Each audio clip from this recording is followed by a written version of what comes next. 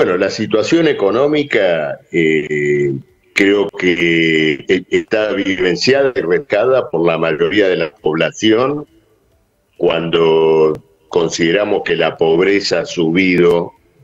al orden del 55, 60%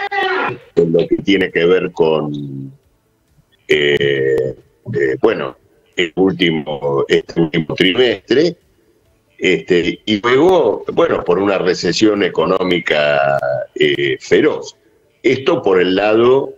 de la situación de la mayoría de la población. Desde el punto de vista de lo que le suele preocupar a Milei y al ministro Caputo, que es reunir los necesarios para pagar la deuda pública y cumplir con los eh, fondos internacionales, la situación también es pésima. El gobierno no ha reunido esos fondos eh, y en ese sentido el presupuesto que presentó en estos días es eh, completamente falaz, mentiroso, solo toma en cuenta los intereses de deuda que asume que debería pagar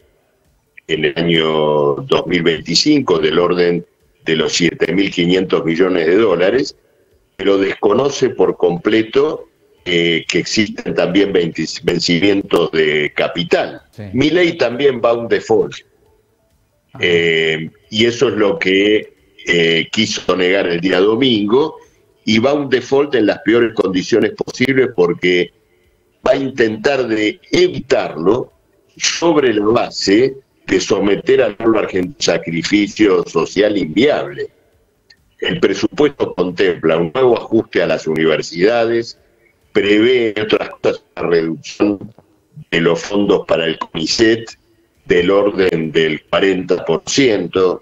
lo mismo para todos los organismos de investigación, eh, coloca en la misma situación a la educación primaria y secundaria. El concepto, que es el que estuvo eh, presente en el discurso del domingo, es que el presupuesto pasa a ser una suerte de caja eh, residual que atenderá a los gastos que se puedan una vez que se cumpla con los compromisos de la pública.